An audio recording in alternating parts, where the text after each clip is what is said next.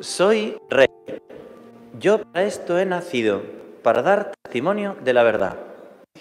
Jesucristo es rey de amor. Quiere reinar, pero no por la fuerza de las, de las armas. Por eso dice, no es como los de este mundo, mi reino. Quiere reinar por la fuerza del amor. Por eso nace pequeñito en Belén, muere en la cruz, para enamorarnos. Es un rey de amor. Y es un rey de verdad. Para eso ha nacido, para ser rey y para dar testimonio de la verdad. Y nuestro mundo no quiere vivir ese amor y no quiere vivir esa verdad. Esta semana leía, bueno, escuchaba a un misionero en América que contaba la siguiente anécdota que me ha gustado mucho. Dice que un rey tirano en un reino, un rey que oprimía al pueblo, que les sacaba todo el dinero, que les maltrataba, y este rey pues iba haciendo como la visita por distintas ciudades y pueblos.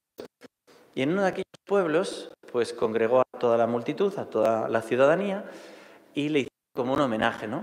Y el homenaje fue que una niña se acercó con una flor, recitó un poema y le dio la flor. Y entonces este rey tirano, viendo la flor y queriendo darse homenaje, dijo, a ver niña, ¿de qué reino es esta flor? Pensando que diría de su reino, majestad, ¿no? Y la niña dijo, es del reino vegetal. Y entonces el rey, un poco con ese chasco, dice, bueno, entonces saca una moneda de oro con su rostro, dice, a ver niña, ¿de qué reino es esta moneda? Y dice la niña, es del reino mineral. Y ya un poco cansadito el rey, dice a la niña, a ver, niña, ¿de qué reino soy yo? Y dice la niña, del reino animal.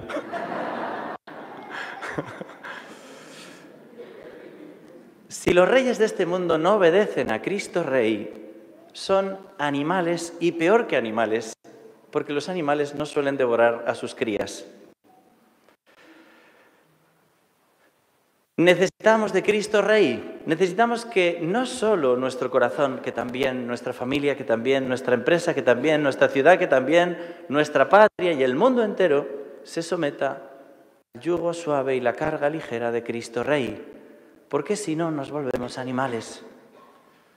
Nosotros queremos que Él sea nuestro Rey, en todos los sentidos. Las leyes se configuren con respecto a este Rey.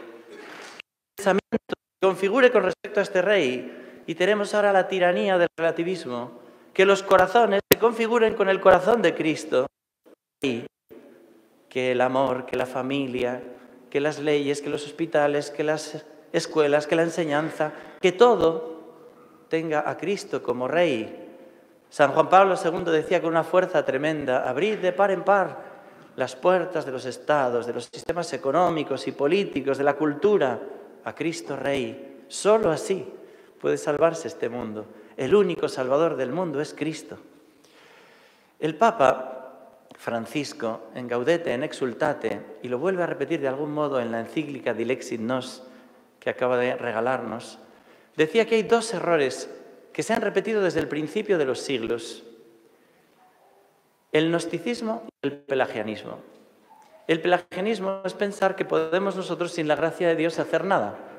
Por eso el secularismo actual, ¿no? vivir como si Dios no existiera y creer que esto puede funcionar, es uno de los grandes errores que viene desde el principio.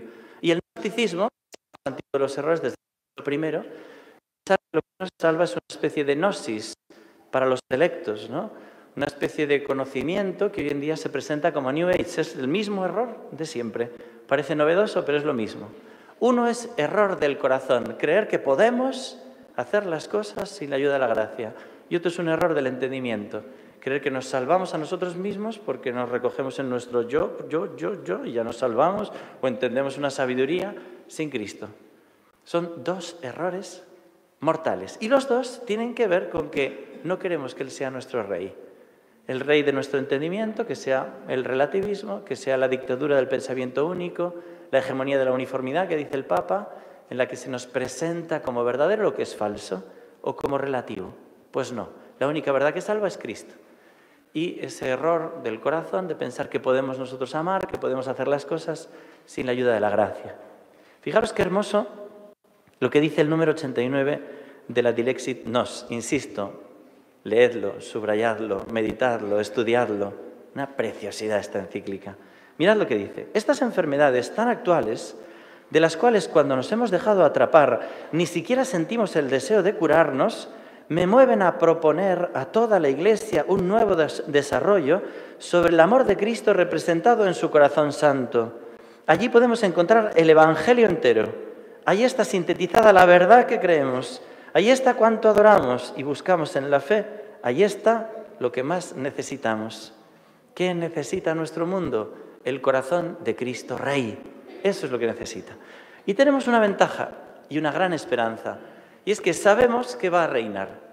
Ahora vemos que en la sociedad nuestra no reina. Se le ha querido echar de todos lados, ¿no? de los hospitales, de las enseñanzas, de las escuelas, de los lugares públicos. No, aquí gracias a Dios aún hemos puesto un monumento, pero en otros sitios los intentan quitar, tirar, tirar, tirar. ¿no? Queremos sacar a Cristo de todas partes. Y uno puede pensar, bueno, pues parece que va a vencer el mal. Pues no. Escuchad la primera lectura despacio. Un día, todas las naciones, todos los pueblos, se someterán a este Hijo del Hombre que viene del cielo. En el Apocalipsis hemos escuchado que todos se lamentarán por causa de su nombre, todos llorarán, también los que le traspasaron. Pero ¿cómo hemos podido ser tan tontos de no dejar a Cristo ser el Rey, el Señor, el que marque nuestras leyes?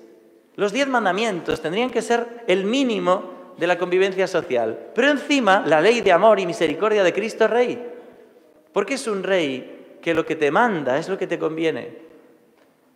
Vosotros seréis mis amigos si hacéis lo que yo os mando. ¿Cómo puede decir eso? Porque es Dios y sabe lo que nos conviene y porque ha muerto por ti y te marca el camino y te va a mandar lo que te hace feliz. Este rey no te quita nada de lo que hace la vida agradable, buena, bella, verdadera, noble, plena. Solo te quita lo que te esclaviza. Por eso no hay más que dos señores.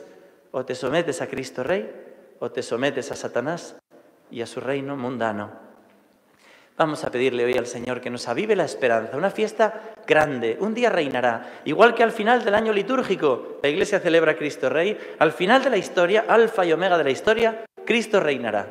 Pero Él quiere reinar contigo, quiere empezar reinando en tu corazón, en tu familia, en tu apertura a la natalidad, en tu apertura con los pobres, en tu tiempo libre, en todo. Quiere reinar quiere ser tu rey y adelanta el gozo de su realeza. Así que hoy le abrimos todos el corazón a Cristo Rey, le abrimos nuestras familias, nos vamos a consagrar a Él con la indulgencia que esto conlleva y le pedimos que en nuestra parroquia, en nuestra ciudad, en nuestra patria, en el mundo entero, venga a reinar. Ven Señor Jesús, ven a reinar. Toma este que es tu reino, que nosotros hemos puesto una losa que no podemos levantar, nos hemos opuesto a ti. Corazón de Jesús, confiamos en ti, ven a reinar.